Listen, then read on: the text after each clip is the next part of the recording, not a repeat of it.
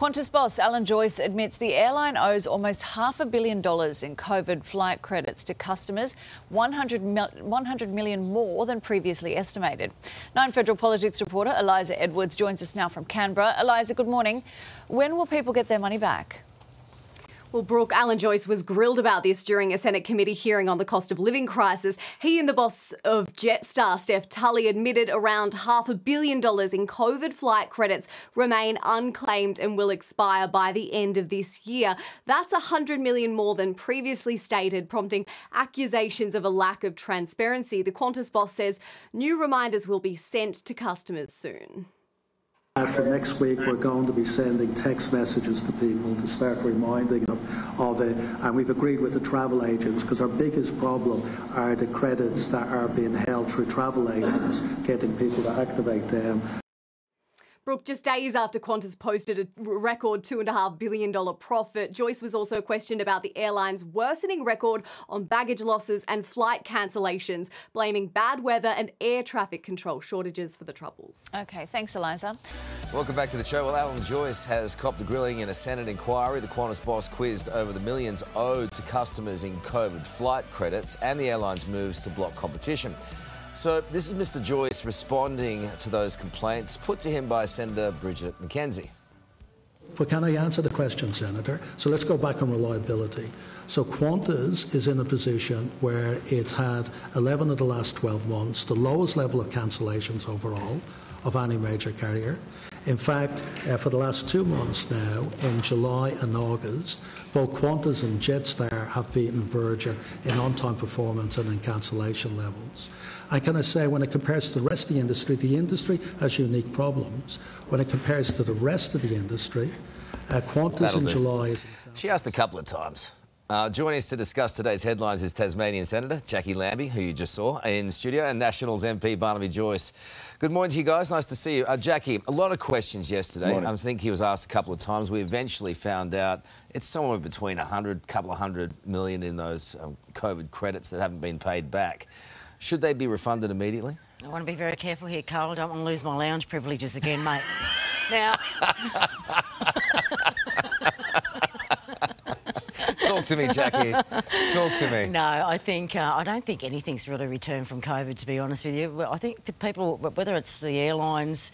Uh, All right, whether Jacqui's jobs, soft on that one. What about you, Barnaby? Get into him, Barnaby. I think. It, well, it, the point is here. This guy's been paid 125 million. 100, or repeat, 125 billion dollars over the last 15 years. 125 million dollars over the last 15 years. Uh, he's entitled to a 15.2 million dollar bonus. I think they said in May. Um, yet, if you are a part of the Yes campaign, you get to fly around Australia free. But if you're just a regular old punter with a credit, you can't get your money back. Uh, I mean, this is smells like a stitch up to me, and a lot of people think it stinks. And we do need greater competition in the marketplace because with cost of living going through the roof, people at least want the capacity for to go onto the internet and save themselves a couple of hundred bucks with a with a cheaper flight. Yeah, there's, there's a lot there's a lot of work to do. I think those credits need to be paid back immediately, and, and also just the number of cancellations at the moment across the board, and also competition. I don't know how more competition leads to greater prices in anyone anyone's Yeah, world. Well, Qantas is under the pump this week with CEO Alan Joyce hauled before a Senate inquiry, questioned over missing flight credits and the roadblock on Qatar Airways bringing more flights down under. If the Qatar decision had have gone ahead, would it have reduced Qantas's market share on its European legs? Oh, well, we only operate to Rome seasonally, and it would have had marginal impact on that. But it, yeah. Just a yes or a no. Would it have affected Qantas's market share on the European legs? Um, a- again, you can't answer that, Senator, without knowing the counterfactual. Would Australians have been better off if Again- Qatar were entitled to an additional number of We, European we routes? believe that with other airlines adding the capacity that they were, airfares were going to come down anyway. How many flight credits is Qantas Group holding on behalf of Australian customers? And why should Qantas keep their money if it's not claimed by the 31st of December? Again, can I finish the previous question, Senator? Because on Sydney Canberra, uh, we also need to No, address sorry, it. point of order, Chair. Yes. I have asked a new question and I need it answered. I'm very clear, Mr Joyce, that you are um, the senior CEO of this operation. You have made a series of comments regarding the $370 million. Does the $370 million include Jetstar credits and credits for overseas? We're happy to take it on million? notice and bring it back to you, sir. I'm not sure there was a clear answer in any of that. Let's bring in Rex Deputy Chairman John Sharp now. John, thanks so much for joining us this morning. Alan Joyce is refusing to say whether competition from Qatar Airways would bring down prices. What do you think?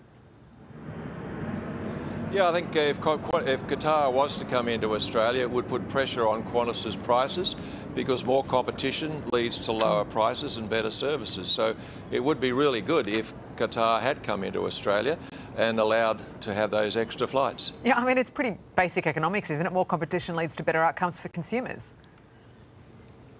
It, it, certainly does. And I mean, it, both internationally, if we could have more international airline flights coming in and out of Australia, we would have lower prices. Prices for international services are around 50% higher than they were pre-COVID. Domestically, prices are still high, mm. and that's because of the arrangements at Sydney Airport, which restricts competition, which enables Qantas to have the lion's share of the business in Australia by a regulated system that seems to lock out other competitors. As a result, prices for our domestic services are higher and customers aren't getting the best that they could get. Oh, John, you're very experienced, obviously, in this sector. How, how do you see it in terms of whether there is any risk involved in bringing in an international airline like Qatar? Well, I think there's no risk at all. Uh, Qatar's been a very good airline. Throughout COVID, Qatar performed flights to bring Australians home constantly, more so than Qantas did. And I, I think uh, an airline like Qatar has demonstrated it, it is a very good airline. It works not just for itself but for Australia. And I think if we could have more airlines like that flying into the country, Australians would get a better price for their international air travel and would have more choice. And that's what competition does mm. more choice, lower prices, better services for customers. All right, well, what about the argument that we should be trying to protect Australian businesses here above the interests of international groups? Well, I think Australian businesses are actually best served by bringing more international tourists into Australia. I mean, uh, you know, you, you, don't want to just protect one business. You have mm. to look at the opportunity that exists across our whole economy if you bring more international tourists. I mean, international tourists can easily spend $1,000 a day whilst they're travelling around in Australia. And that creates more jobs for Australians right across a whole range of businesses. So it's in the broader interest that I think governments need to act rather than the narrow interest of one particular company. Mm, I mean, Alan Joyce is saying that prices will eventually come down. I think the rest of us are all saying, well, when? Why do you think the government isn't acting here? Why do you think the government is protecting Qantas in such a way? Well, it's very hard to understand why the government is just favouring Qantas at the expense of everything else. Uh, you'd have to really ask yourself the question, what's in the national interest? The national interest is best served by having more competition in our airline industry, both internationally and domestically, because it will lead to lower prices, more choices and better services. Yeah, absolutely. So much uh, very good insight there, John. Really appreciate you joining us this morning. Creative license. oh, thanks, Timmy. All right, well, let's move on now. And Qantas boss Alan Joyce has refused to say whether more competition from Qatar Airways would lower international airfares in Australia. So let's provide some more clarity on the issue and bring in Nine Finance Editor Chris Kohler. Chris, good morning to you. So break it down for us. How would more competition impact prices? Yeah, good morning, guys. Well, look, it would really just chisel away at the dominance that Qantas has. And the incredible thing here is that no one's really saying that it wouldn't. I mean, it's well understood that allowing Qatar to expand into Australia would mean a faster drop in international ticket prices. What we now know is that the reason, or big part of the reason that it was denied the chance to expand, is to protect that dominance and protect the profitability of Qantas, which, as we know now, is very strong. So it's quite surprising. And that's kind of why what's being now called a pretty anti-competitive move, really, which is surprising again. Yeah, absolutely. I mean, we all want to have more competitive prices. The federal government insists, though, that bumper profits for Qantas is good news for Australia. Is that the case?